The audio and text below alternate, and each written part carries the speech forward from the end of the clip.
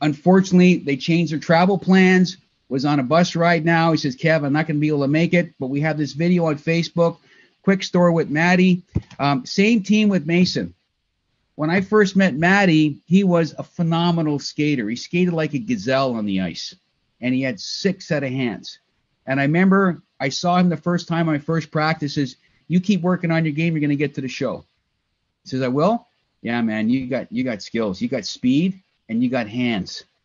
And so he went to Brown University, went to AHL. I'll just give you some quick stats here. Seven years pro, AHL All Star game in 2018, leading scorer 2015 and 2016, 16th overall in scoring in AHL. He's 5'10, a buck 70.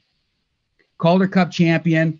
And I'll pl- just play Matt's story so you can listen to Matt. He's a very humble, very quiet guy. Okay. And Ronnie and I did the demo on him at the Ricoh Center in Toronto. And Ronnie and I, the look on Maddie's face was like, what the heck is this? And the next morning, he skated in the game day skate in the morning with the socks. And he texted me after the practice. He goes, Kev, what the blankety blank is in these socks? He goes, why? I'm a different hockey player. My balance, my edges, my shot, my focus, my, my everything is better. I'm going to wear them in the game tonight. So all my hockey people on the call, when's the last time a pro player changed their routine in the playoffs? Never. So this is Matt's story, then we're going to move on. So I'm here with Matt Lorito. I met Matt six years ago when he played with me with the Villanova Knights in junior hockey here in Toronto. Uh, furthered his career with Brown University, and we reconnected about a month ago, uh, when, or three weeks ago, when they're up to play with the uh, Toronto Marlies in the Northern Conference Championship.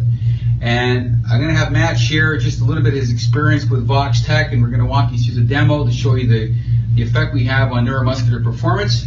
So, Matt, it was, it was great to run back into you again six years later and meet you down at Ricoh Center, and we went through some of the testing, and you got a chance to wear the product when you played. So, if you can just share with the Voxx family what your story was and what you felt on the ice as, as a professional hockey player, uh, the effect that Voxx helped you with your ability to play hockey.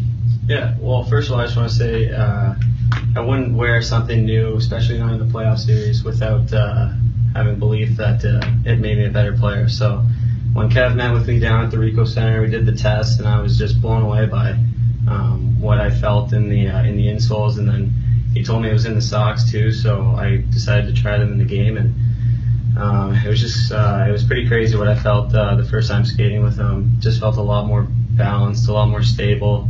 Um, felt like I was thinking a lot clearer too, um, and just uh, even my range of motion felt better, and just doing all the uh, the movements I do on the ice just kind of came uh, a lot easier and a lot smoother. That's great.